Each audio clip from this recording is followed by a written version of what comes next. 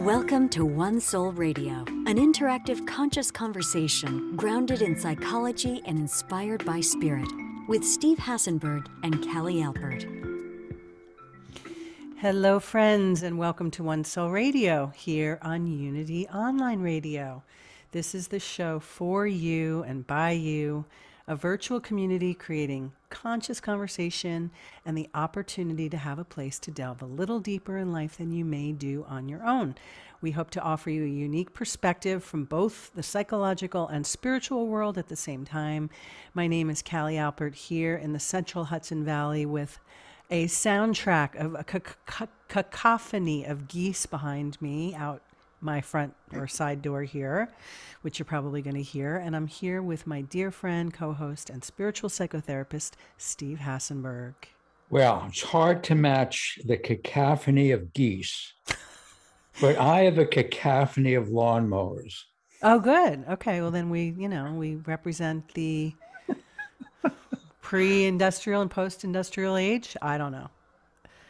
Uh, we re- we represent two coasts, one of which is very warm with grass still growing.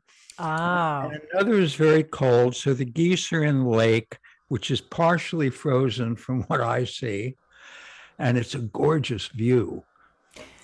And it's definitely it's a whole scene. It's it's a whole right. thing. I just came. I was gone for a while. I came back up here to this, and I do live um, on this beautiful lake, and I've never seen anything like it. Wow. Hundreds and hundreds it's it's a whole Nat Geo experience that I'm witnessing every day now. It's wild. I could talk about that all show, but we won't. So today we're going to revisit the idea of uh, what COVID has taught us. We actually launched this show just about a year ago, a little more than a year ago, and now that we're well, like we're almost two years into this unprecedented pandemic, we wanted to do a refresher on what COVID has taught us.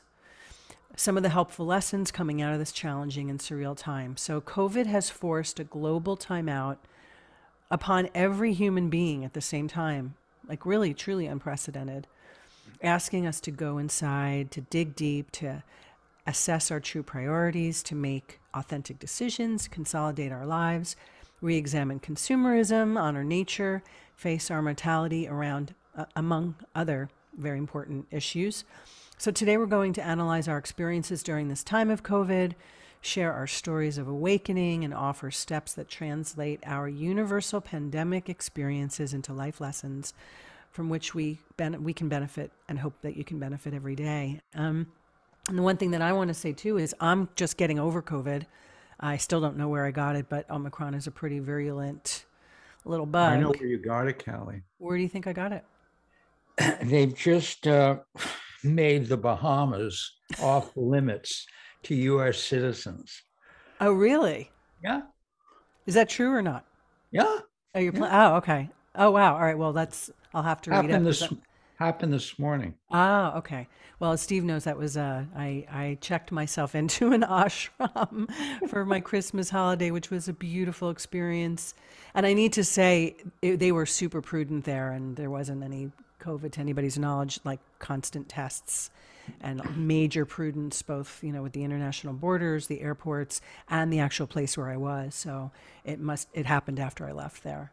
Um, but that to say, um, you know, as somebody who has, we've all, for one reason or I guess in one way or another, taken major precautions to whatever degree it jibes for us, and related or not related to our different um, opinions on vaccines and boosters or lack thereof. So we're not here to really talk too much about that, although it may come up organically.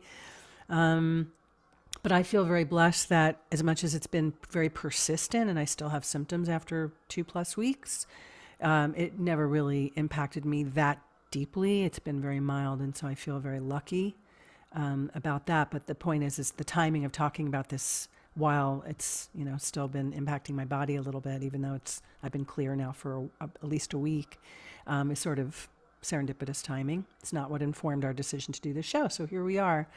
Um, where are you with the whole idea before we get into some of the specifics? Where are you with this topic these days? Well, in your family listen, in your COVID household? has impacted all of us. Yeah. And um, at the very moment, I've got a number of clients whose children have COVID or and who have given it to them, or they know people who have, well, now it's called uh, Omicron, and they have the Omicron virus. And really, the good news about it is it seems like it's much milder. It is. It's true. So for everybody who's gotten it, aside from one person I know who wasn't vaccinated, it's been mild. So thank God for that. Yeah.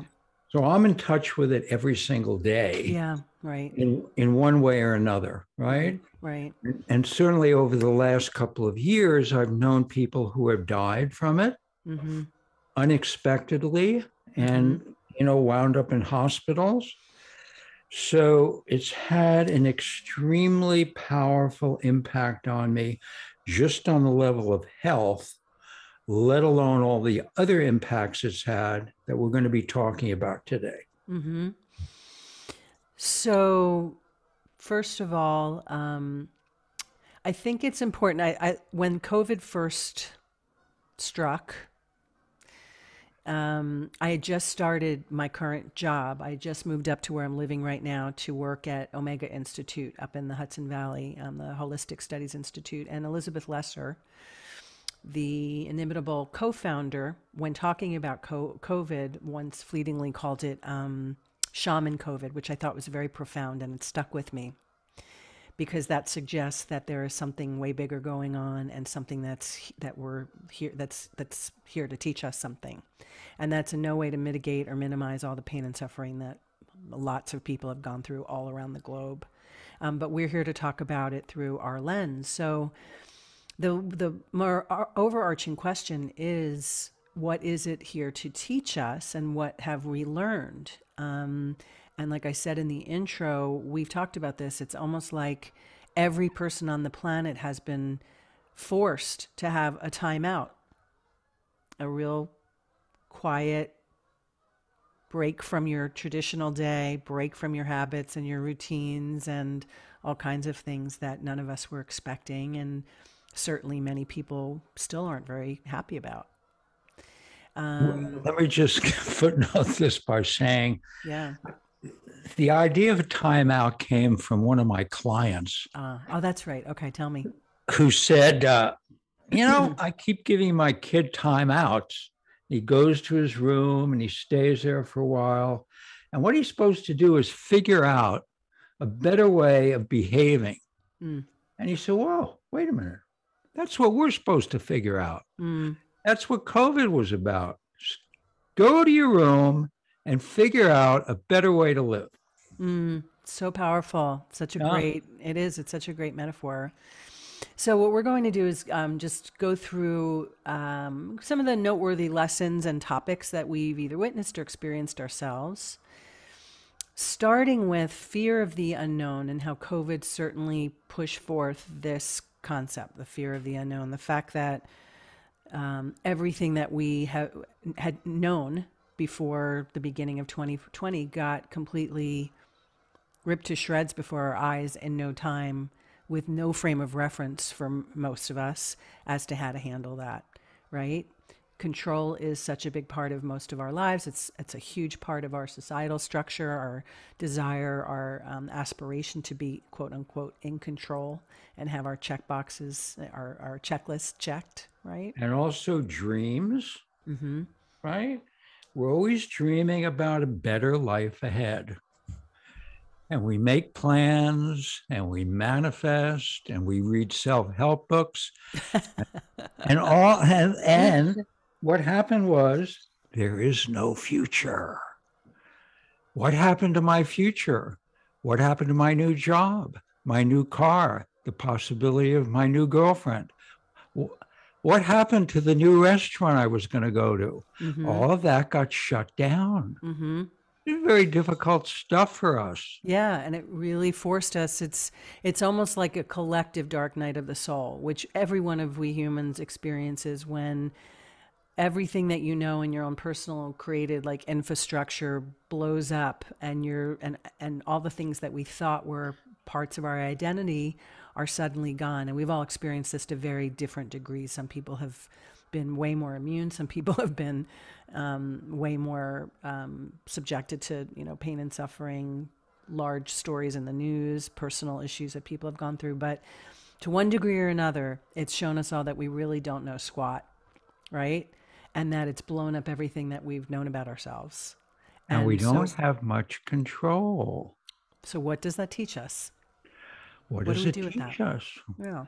Well, what we're going to talk about today is that, and I, this is my experience both with myself and my clients, the individuals who had the ability to adapt.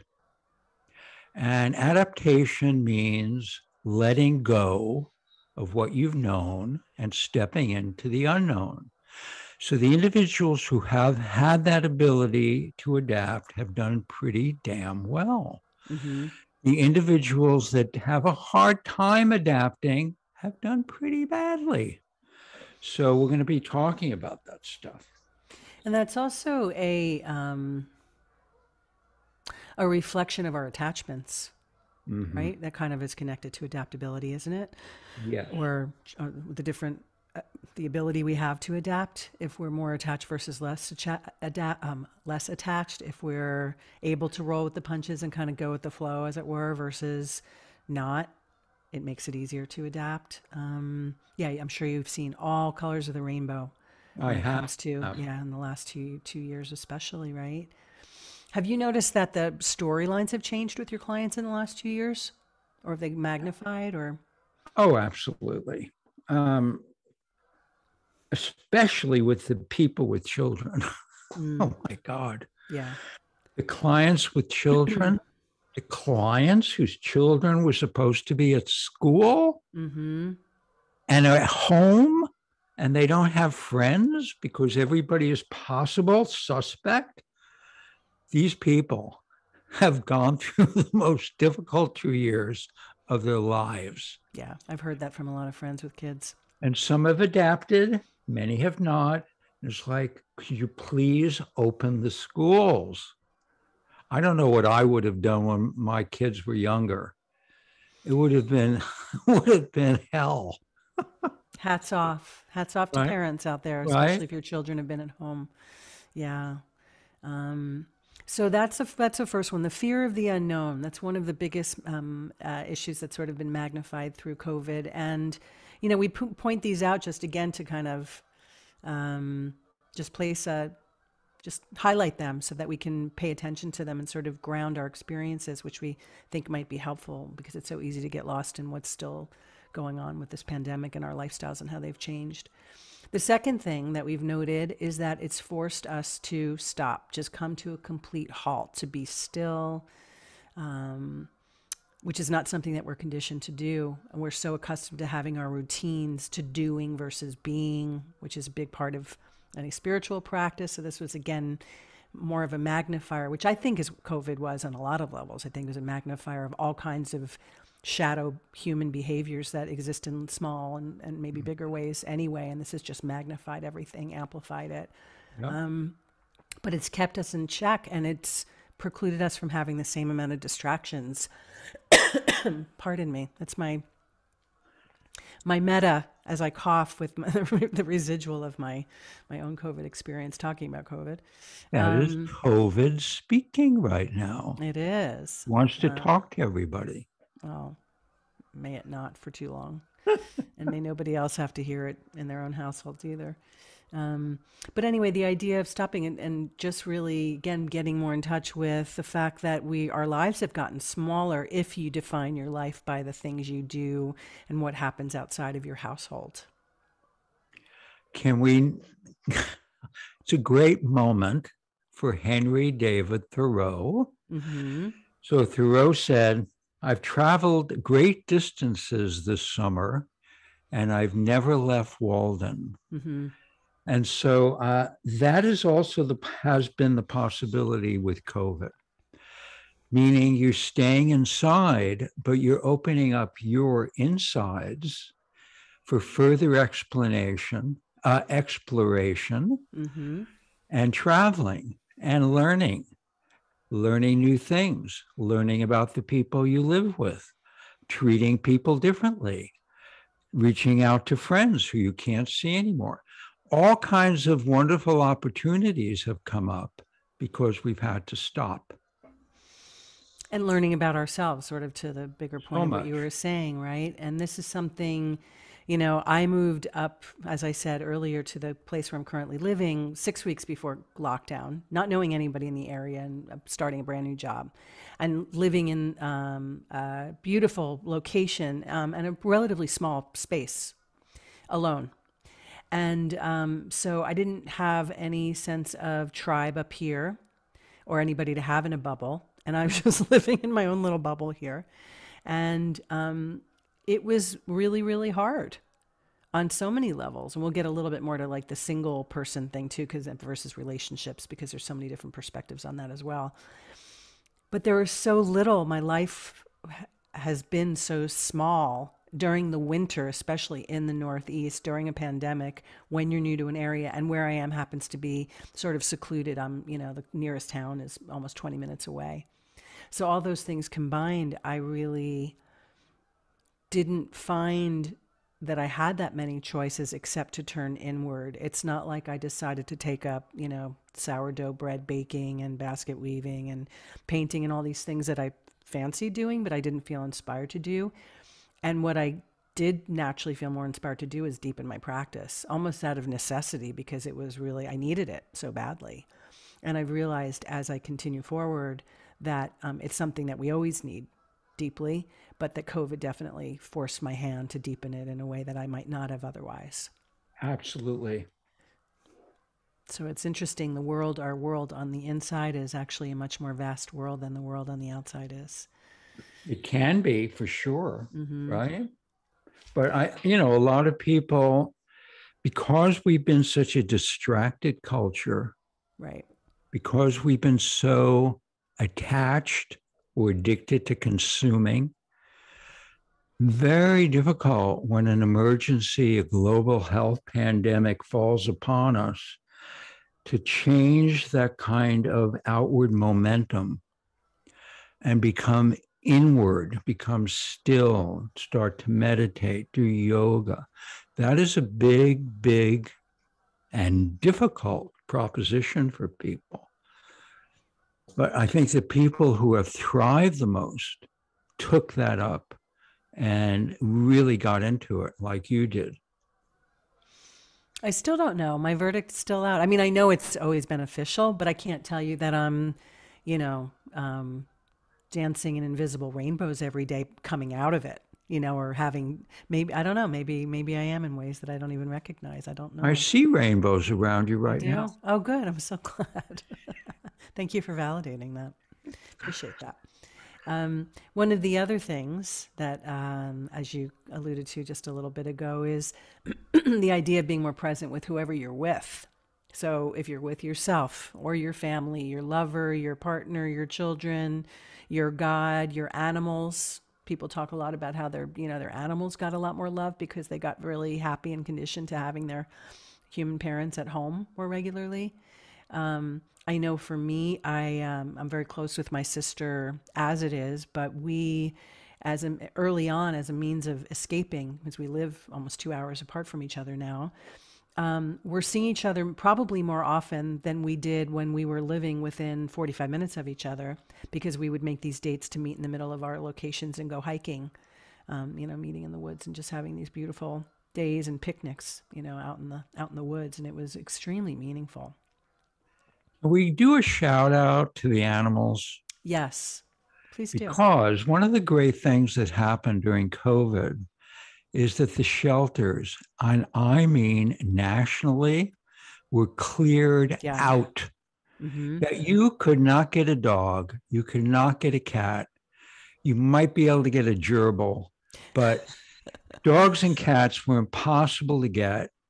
And so what happened was the animals all of a sudden became so important. And you know, I love animals. Yes. They became so important to be companions, especially for people who were alone. The, our furry friends became our best friends and companions during COVID. The shelters are still cleared out by and large. Yeah. It's um that's really true and it's such a beautiful again like why it took a global pandemic to get people to adopt even more. But again, they, they had the headspace or they were home more often. It's part of the reason I haven't had an animal on my own in a really long time is because of the commitment of having to be present enough for them. So right. these there are a lot of gifts that come from these things if we look at it through a certain lens, and that's definitely one of them. And on the on the um, the note of animals, we can give another shout out to our favorite animal documentary from Sir Richard At- Attenborough called "The David Day Attenborough." That, right. Oh, what did I say, Richard? I'm sorry. The day the Earth changed. The year that Earth changed. Okay. Thank you for correcting me. but yes, beautiful, beautiful documentary about the way the entire animal kingdom across the globe changed significantly for the better within weeks and months of COVID really striking. I mean, it's such a powerful, beautiful, feel good documentary that's easy to find online. So, shout out to that. Um, what else did you want to say about the idea of like being more present with who you're with? I know you oh you were touched by your what you saw in your neighborhood. Oh, yeah, this is something that I talked about a year ago, or maybe when we we even talked about it on our podcast before we began our radio show. We did.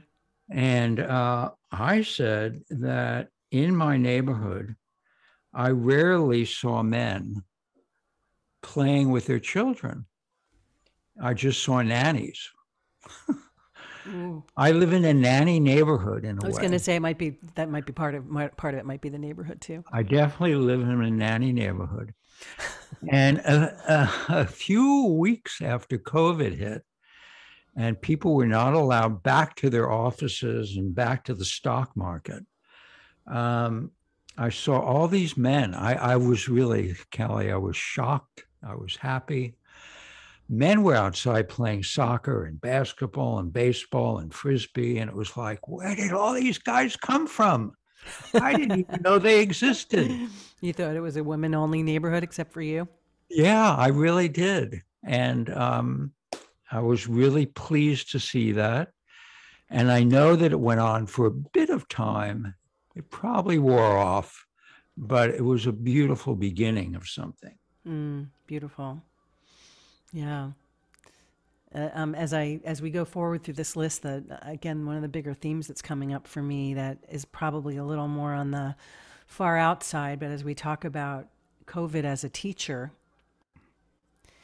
is just to we invite you all as we go through these little these more of the specifics is to think of the overarching larger picture of this. You know where in the world and who was it and why did something infiltrate our entire lives seemingly overnight separate from the politics of how you think it originated and where to illuminate these things for us and through deep deep pain and suffering um, it's just an interesting question to ask. It really is. You know, it's you so, and I, yeah. It really, really is such an interesting question. Yeah. Um, because it's magnificent and wild and just so large and so incomprehensible that you know since it's just my my conditioning is to think of things from that perspective often um, the spiritual perspective in addition to how it impacts me in my earthly heart every day. And it's just as we're kind of looking back on this, and because I haven't thought about a lot of this in a while, it's it's fascinating. It's really and very, it, very powerful. You know, it, it caused a lot of pain and suffering. Deeply. It caused a lot of unemployment. It caused a lot of people on the front lines to be exhausted beyond measure. It's caused people to begin to hate one another, whether they're vaxxed or unvaxxed.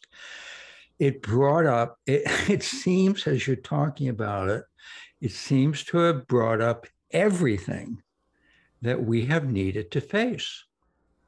as a culture, as a globe. And depending on how we face it, will determine how we go forward. Yeah, you're, is there anything it didn't, it hasn't asked us to face? No. I can't name one thing. Right. What what part of human nature, what part of our earthly existence, what part of society, what part of our human conditioning, what part of our infrastructures has not been questioned and illuminated from this pandemic? I really I can't name one thing. It's an interesting question. Right? Right? Not one thing. No. It's really something. So we're talking about what COVID has taught us. We're trying to, to um, kind of look at it through the lens of the lessons that we can have learned and need to remember and continue to learn. Um, so we've talked about a variety of different versions of lessons from who you're with, relationships, being forced to stop and make a relationship with stillness. When we come back, we're going to continue um, talking about the lessons that COVID has taught us. We'll be right back. Welcome back, everyone, to One Soul Radio here on Unity Online Radio. We are talking about how, what COVID has taught us. And we've gone through some of the lessons that we hope we can sort of remind all of us collectively about so that we can just have a different perspective and we're not sinking into the COVID K hole through one more winter as we continue to endure this. I just made that up. Um, it's just a metaphor for, you know, being in a dark, I got it. inert COVID kind of place. Um, so let's see. We've talked about being still. We've talked about being forced to stop, and yes, you in the in the front. You know what's coming up for me? What? You mentioned the word dark night of the soul. Yeah. And some people might not know what that means. Oh, okay. Do you want to do you want to explain it? Yeah. So I'm gonna I'm gonna practice my German, which I usually don't do with you. Uh oh. Ready? Yes. Walpurgisnacht. That means dark night of the soul. It came from the German. And it had to do, it, it doesn't sound, it's bad. It's like it takes us to the bottom. It takes each individual to a place that they have refused to go to. Because it says dark night of the soul. So it takes somebody to a place that is very profound for their growth, for their healing. And because of that, it becomes a dark night. They're surrounded by it, they're in a cave. But there are opportunities in that dark night to find the light that's coming into that cave and to seek the light and to heal something that their soul has wanted them to heal. Mm. It's beautiful. It's like stripping away the constructs. Right. You know, again, it's like we all come into this earthly existence and then we get piled on. I always think of it as a sculpture that's kind of sitting in wait underneath a big chunk of clay or marble that gets piled on with all the layers and all the societal constructs and indoctrinations and lessons and brainwashing and societal pressures. And then when those things get stripped away and suddenly our little life checkbox gets blown up, it gives the impression of being really dark and really scary and really horrible and really um, untenable. And yet, if you can go in there, you find really the biggest part of yourself. And we can speak from experience. It's true. It's Yeah. hard, it sucks, and it's true. Right? Yep. So before we go forward, I want to just invite anybody who'd like to join us to call and join the conversation. If you have any stories about your lessons that you've learned or haven't learned through COVID, because there's plenty I haven't learned yet that I'd like to. Um, the number is 816 251 3555. Please call and join us. We'd like to hear from you. Um, let's talk about one that's that's definitely been given plenty of uh, plenty of I don't want to say lip service, but definitely some play for a long time now, which is the idea of separation, the lack of human touch, the lack of affection, the lack of um, the, the, the forced space, the idea of distancing ourselves from other humans and feeling like we can't approach, we can't shake hands, we can't hug. Um, that's a basic primal human need separate from if it's somebody obviously that's in your bubble that you're living with. We've all been deprived of that in one way, big or small. Right. We've come a, become a fist bump nation. I'm so not a fist bump person or a high fiver.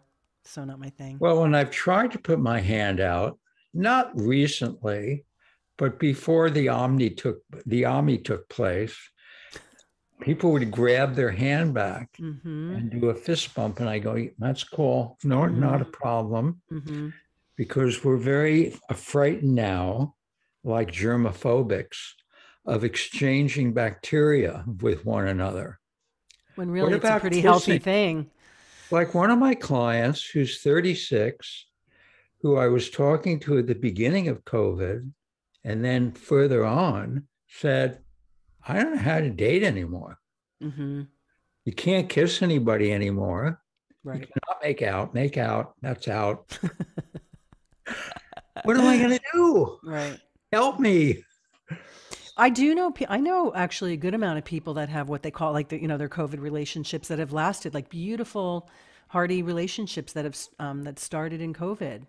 Um, I marveled at it when I was a little more fearful. Like, yeah, what do you do and how do you navigate? Even now, like with you know, if, and with my dating life or attempt at dating life, you know, what are the rules? What are the um, there's politics around it. Sometimes there've been situations where I said one thing and it alienated somebody I didn't even know Right. um, just by telling them what my concerns were. right. Um, or, but I do know people that kind of just like walked through it. They either were a little more cavalier and didn't care and took their chances, Right. or they were really prudent. They would have their dates at the end of a driveway with distance between them. And then if they realized that there was some investment they wanted to make, they would get tested. And then finally, they would just, you know, let it all rip. And then they, and they've been in relationships ever since. yeah. Um, but I think that, and that's the other thing too. You know, as a single person, like I know people that was you know, that was a big deal. Like to have a few people in my life that I could hug every once in a while, because you know I heard this all the time. People that would go months and months without even a hug. Um, and also, then the other side of it is, you know, romantic single people romanticizing people that had partners in their or family members or roommates or whatever living in their space, where it wasn't always warrant a, warranting of um, romanticizing, right? Where a lot of relationships got very honest and truthful, and things their their their issues got magnified, and they found out that they weren't meant to be together, and it wasn't always so copacetic. Well, you know, if you could look through blinds, Right, exactly. what you might see is a war going on, Yeah, right? yeah, With yeah. bullets passing overhead. I am with you for two years and I can't Mhm. leave. Mm-hmm. Mm-hmm. yeah, it's true. So all Um, that happened too. The grass is always greener, right? Yeah. Right. Some people would say they wanted, you know, or were forced to have all this time together. I wish I had the freedom to not be sharing space with somebody or let me go live in the back house or whatever it might be. Exactly. Yeah. Right? Yeah. It's interesting. But what can we learn from that from that piece, do you think? What can we learn from what specifically? From this whole piece, just this piece about the um the idea of relationship of um having to be alone or valuing the fact that you some people learn to deepen the value of the person or people that were in their life right some people um, again discovered that they weren't meant to be together i'm just what can we take away I mean, for that? me, um, I think one thing to learn is that everything is an opportunity. Everything is an opportunity wherever you are, moment by moment. And you assess it based on the fact that life is for you rather than against you. So if life is for you and you find yourself in very sticky situations, there's a lot of meat on the bone there for communication, for inner work, for trying to actually get closer. Um, everything is an opportunity. Hmm. you do always say that I s- I valuable do. I'm information. sticking with it. all right let's take a caller shall we We can. hi caller are you there I'm here. Yeah. Hi. hi what's your name and where are you calling from Uh, this is Jan, and I'm calling from LA. hi welcome Jan. You may have just answered my question. Oh. Um, he may have, but uh, maybe uh, maybe um, he could go a little deeper because I'm wondering what is the spiritual understanding of the of natural events like this? Um, because I think COVID is a natural event, you know, whether Mm. it's a virus or an earthquake or a flood. Um, could you go in a little more of spiritually what that would be? Yeah, of Great- course. Great it is question. a great question, an important one. I'd say, first of all, that I think it's valuable to come from a place where you're um, asking that question and just, you know, willing to look at things that can um, appear to be very devastating from a different perspective. You know, I think that number one, just to honor that and recognize that you're you're made of that kind of material in and of itself is spiritual. You know, um, and I think, yeah, we did start to kind of um, talk about this a little bit, but we can go deeper. I mean, I. I question myself with this all the time because my lens can be. I was just having this conversation actually with a colleague about an hour ago. Um, the bigger picture, we're talking about vaccines and COVID and all this, and politics and divisiveness. Um, but I do think that there always is a much higher power at play that's way bigger than us, that is benevolent, that's just, um, and, and that means well. And that is my baseline belief system. Now, there's, it's often not in my heart, in my body, and often it's just in my head, and I have to remember and convince myself. So it's certainly not something that I embody all the time. But I do believe it as my foundational belief system, so that helps. That said, you know, when people are going through deep pain, and there's been so many versions of it, we haven't even talked about the bigger, like, newsworthy pieces and what it's caused in terms of racial and um, not cause racial inequity, but just how it's actually um, magnified that with George Floyd and Black Lives Matter, for example, and just the amount of like literal burning of streets and looting and just all kinds of horrible things that happen in this country alone, let alone everywhere else. Um, I feel a lot of deep pain for that. So I think there's different layers. I think we have to kind of feel the emotions and grieve and have our human reactions. And then I think it's helpful to look at things from a bigger perspective. And I firmly believe that everything happens, like Steve just said, for us and not against us to teach us lessons. And the things that we're pointing out today, I think, are some examples of why COVID happened to remind us that we're all the same, to remind us of our interdependent um, dependency.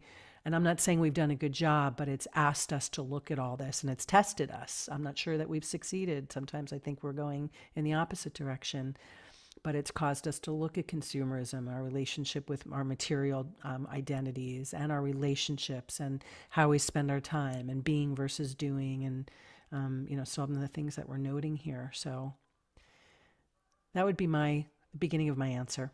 I like your answer, Cali. Beautiful. Includes a lot of beautiful things. So I can take a stab at this uh, from another, uh, even a different level. And if you, we just start with us, with human beings, when human beings neglect things inside of them over a period of time, what tends to happen is the things that have been neglected, feelings that have been neglected, pain that's been neglected, these things come back to us often as nightmares. They come back to us as physical problems, psychosomatic problems.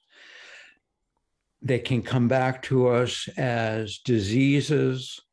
They can come back to us as accidents. And so, where I want to mm-hmm. start with this is that when we neglect things, all of the universe wants to be whole. And so, that wholeness pushes us to keep facing it in one way or another. If we can't face it consciously, we're going to face it through an accident or we're going to face it through a disease. So, if you take that a little bit wider, what we don't face as a culture comes back to us because we've neglected it. We have neglected Mother Nature. Mother Nature is something that needs to be honored, and we've neglected it from the beginning of the Industrial Revolution and more and more through time, through pollution, the pollution of oceans, and all of that. And because we've neglected it, it comes back to remind us that there's something missing here. How is it going to remind us? It has to wake us up. We sleep very deeply. And when you sleep very deeply, it has to remind you in big ways. So it can remind us in terms of floods, earthquakes, the virus. Wake up. There's Mm. something out of balance. And then the question is who's going to wake up and who's going to remain asleep? And so I've seen the virus as one of these wake up calls from Mother Nature that, inasmuch as much as we are part of Mother Nature, the, the composition of the human body is from the earth, the elements of the earth. We're one with Mother Nature. And so Mother Nature is reminding us let's get back to harmony. Let's get back to oneness. Take a look at what you're doing. How are you going to go forward? So, so this is the way that, uh, from a spiritual perspective, one other thing, much of the indigenous population, I'm going to talk about the Native Americans, they see the earth as uh, I was reading this wonderful article by a Native American, and he said that the barrier reef in Australia was actually the liver of the universe. And it was Wow. the way that the universe detoxifies itself, Mm, and And that's so your if you- anger, liver's your anger organ. right? And so if you start looking at things that way, you realize that this whole earth is part of our experience and we're coming and going and transferring atoms and molecules. All of this is a oneness. So to conclude my speech here, I really got into it, right? This might be my favorite of your speeches ever. For real. okay. For real. For real. So to conclude this, what I'm saying is this desire for life to be whole is the reason that we've been going through all of these things, and certainly in the last few years. And it is imperative for us to begin to see things in this kind of holistic view, or else we're going to, I'm not going to say perish, but we're going to be faced with more and more things that we've neglected, and they're going to be extremely profound and more intense. My speech is concluded. I rest your case, Your Honor. No, it's really. Does that can, does that resonate, Jen? Is that you're giggling? I imagine that was pretty profound to hear. totally, totally, totally. Thank you. Steve. Yeah. Thank you. Thank thank you so much for calling, and I'm glad Oh, that you you. elicited such a beautiful answer from Steve. So thank you for that.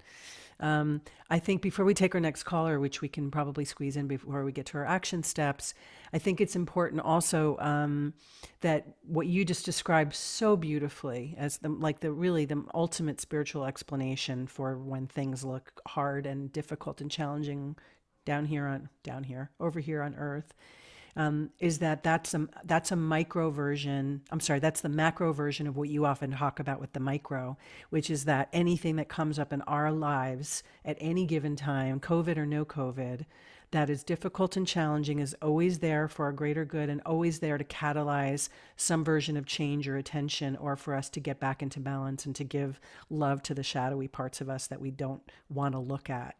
And so what you just described is really just the greatest example of a collective macro version of that, really, Yep. right? Somehow, somehow it took me over. It wanted to be said today. Well, it- that's because you just channeled that. That Yeah. that was you channeling. All right, let's take another caller. We can get another call in before the end of our show. Caller, are you there? Hello. we have- hi, do we have our caller on the line? Um, is this me? Yes, it's you. Hi, you. What's your Oh, name and where are you calling hi. from? Well, I We've only got a few more minutes. Okay, sure. Uh, my name's Nikki, and I'm calling from San Diego. Hi, Nikki. Um, thank you so much. Hi. I, I was just going to address the dating, uh, which I had done last year and tried really hard during COVID, and I Mm, was, you know, just all of that too. Like everybody was in their bubble, and I'm a widow, and I was single and alone. I'm like, my bubble is me, and I found that really hard, that disparity. And then I found it really hard to date, but I I did anyway. You know, I was out in parks and I was places, but it was all very difficult and confusing. And I was wearing a mask, and I didn't get asked back. It was just yeah, it was really hard. And You have to um, put lipstick on. It's like a whole thing. I found the best 24 hour lipstick. It will not come off. Sorry to interrupt you. I just because I relate. Go ahead, please. Uh, please continue. No, it was very important. so anyway, um, and then you know, just think everything is just the, the no touch and and hugging and all that, but just the idea that I like you you were saying a friend or someone had said, how would you ever? Well, I also thought, sorry, tangent. I thought that, oh, maybe this will be good, like in the olden days where you can't, you know, physically get together, so you Mhm. spend the time and you get to know Yep. each other. But it it didn't quite. It was like it also was so hard that you couldn't even be next to each other. So you know, or, or it, it was it, it it was this weird distance. It was very awkward, and um, and then the idea of like ever kissing someone, I thought, how do, are people kissing? Like, will I ever want to kiss someone again? Because it's just all you think of is bacteria. But anyways, I found it really hard. I did keep doing it, and another story that I did um, meet someone this in in a couple months ago. So that's a great sto- miracle. But it was Oh, good. very confusing and very hard, and I'm very grateful now that I'm not in my own bubble all by myself. But really challenging. So Yeah. anyway. Yeah, to- total points totally taken, and that was a really um, that was a good uh, an extra perspective that you brought up was because I related to that too. This could be the most romantic thing ever, especially if you're made of a certain you know material like I am, which is not you know quick, hasty dating type of person. I really like to get to know the essence of people without that intentional pressure of checking the like dating boxes and a certain timeline. Um, Yeah. which is why most of my boyfriends have all come from like friendships or work relationships that I've had or things where it was unintentional, where you got that connection going for a long time. So I relate to that. But um, most importantly, you gave it a try, and perhaps that was your preview and opened you up to what you're enjoying now. So good on you, and thank you for sharing that. We hope it continues Thank you. for you. Nothing important, but it was really yeah, two years of challenge, you know, and make it made it harder. But anyway, thank you so much, you guys. your, uh, yeah. Congratulations. Thanks for calling. um, that's nice too. Sometimes, you know, just the idea that during like harder times, it kind of uh, sharpens our toolbox. And then suddenly things get easier, right? So um, we'll get to our action steps momentarily. Maybe we'll just blaze through a few of these other things, even though we can't give them the same amount of time that we did some of the ones earlier today. Um, but just some of the things that we ask you to sort of contemplate and think about in terms of what your experience has been over these last two years in different um, different areas of your life. Um, let's see. Um, the idea of inspiration. Did you get inspired? I've struggled with lack of inspiration for a really long time on certain levels. Um, that's something that I got to dig more deeply into. But while I fancied myself wanting to take up this and that, and I went to an art store and I bought painting supplies, and I love to bake, and I used to make candles and soap and all kinds of things, totally lacking in, in inspiration, except for like my, my, my desires got way, my list got way smaller and it's still very consistent, but it wasn't about taking on new art forms like you did, for example. Well, you know, in initially when I lost my studio space, I didn't know what I was going to do because I didn't have the room at home to do large canvases. And then some friend of mine who's an artist said, Why don't you take up watercolors Mm. and do them on small pieces? And that that was the beginning of my watercolor journey, which Cali knows. And it's kind of taking me into new universes. It is literally, and I highly recommend you check out Steve's website, stevehasenberg.com, where he has some of his pieces, and he's wildly talented. And the new stuff is true transmissions and transporting. And I guess I should let you say the rest and then when you're ready to talk about it. But very Okay. beau- beautiful work. Um, so our action steps today have to do with just sort of sitting with all of these different ways that COVID has impacted us. Um, so step number one, or action step number one, do you feel like you've learned anything? And if so, simply write it down and recognize it. Have you started to change the way you live your life? Have you learned something about yourself that you didn't know? Was there something that got excavated about your personality or mirrored back to you from your loved ones that you weren't aware of? Whatever it may be, just simply take note of it. Secondly, what's the biggest change that you want to make that you haven't implemented? Um, you know, again, it could be that you've witnessed other people making changes and th- they just haven't come to you yet or you haven't committed to them yet but perhaps there's something new that you want to take on that you haven't. Um, it might or maybe it's something that you want to undo that you haven't done before or part of you that um, that you want to kind of let go of that doesn't serve you anymore. It could be a relationship that you want to let go of that maybe you've been forcing that that certainly isn't showing up in the way that you need it to. Um, and then finally take a look at the perspective you have on your life right now have you become more hopeful or more despondent? That's something that a lot of people can relate to. Some people feel more hopeful having moved through these last two years. Other people are feeling deeper despair as if things are getting worse. So just check yourself on that. No right or wrong answers. Um, and to that point, have you find yourself uh, assuming like healthier, more destructive habits? Some people have stopped more of their destructive habits, and other people are taking more of them on. So again, just write a checklist to yourself. Write your negative and your positive changes that you've made so you can give them a little bit more attention. So, just to repeat, number one, do you feel like you've learned anything? And if so, write it down and recognize it. Number two, what's the biggest change that you want to make that you haven't yet implemented? And number three, take a look at your perspective on your life now, your feelings toward mankind, the planet, your per, your life, your your life specifically, um, your habits. Have you assumed healthier, more destructive habits, more healthier, destructive thought patterns? With that, we want to thank you all for joining us. Please find us on Unity Online Radio Podcast. You can find us on Instagram at One Soul Radio and Facebook at One Soul Radio Podcast. We love to hear from you. We welcome your suggested topics or any questions that you want to ask us.